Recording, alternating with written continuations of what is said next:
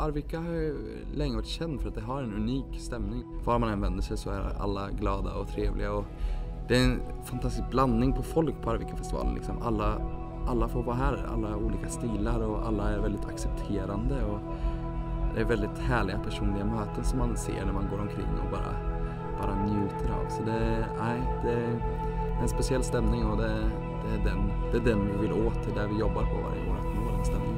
För man jobbar så liksom hårt, så länge och så helt plötsligt så är det här och så på tre dagar så är det över och så bara shit, vad var det som hände?